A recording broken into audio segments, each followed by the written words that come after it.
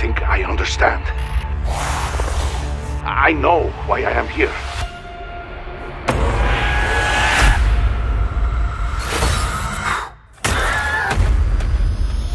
Of course this would happen to us! Calm down.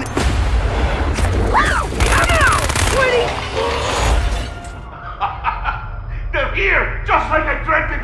They're here!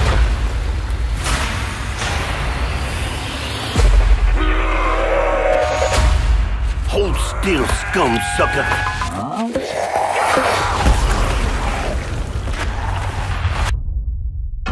The madness is nearly over. But one thing remains.